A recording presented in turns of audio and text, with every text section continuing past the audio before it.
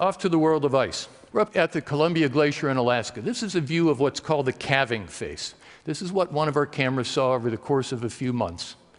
And you see the glacier flowing in from the right, dropping off into the sea, camera shooting every hour. If you look in the, in the middle background, you can see the calving face bobbing up and down like a yo yo. That means that glacier is floating and it's unstable, and you're, going, you're about to see the consequences of that floating. To give you a, a, a little bit of a sense of scale, that calving face in this picture is about 325 feet tall. That's 32 stories. This is not a little cliff. This is like a major office building in an urban center. The calving face is the wall where the visible ice breaks off. But in fact, it goes down below sea level another couple thousand feet. So there's a wall of ice, a couple thousand feet deep, going down to bedrock if, it's, if the glacier is grounded on bedrock, and floating if it isn't. These changes in the alpine world are accelerating. It's not static.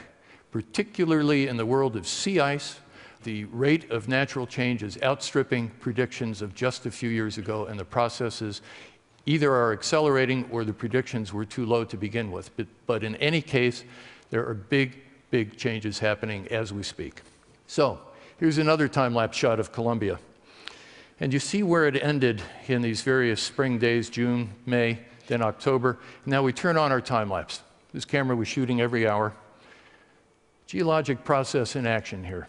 And everybody says, well, don't they advance in the wintertime? No, it was retreating through the winter because it's an unhealthy glacier. Finally catches up to itself, it advances. And you can look at these pictures over and over again because there's such a strange, bizarre fascination in seeing these things you don't normally get to see come alive. I mean, we've been talking about seeing as believing and seeing the unseen at this uh, TED Global. That's what you see with these cameras the images make the uh, invisible visible. Huge crevasses open up, these great ice islands break off.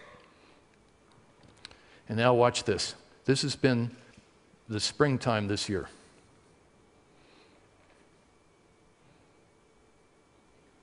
Huge collapse. That happened in about a month, the loss of all that ice.